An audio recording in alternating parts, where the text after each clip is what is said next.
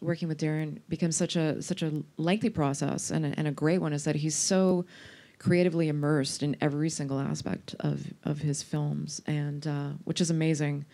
Um, but it's it just becomes a very tedious pro- process at times, just nailing it so that the intent and every single intention that he wants to be conveyed is, is conveyed in the right way and and and a way that is uh, has meaning. And every every single sound, every single breath, every single location of every single sound is is purposeful. Um, yeah, so that's what's unique about working with with Darren, I think.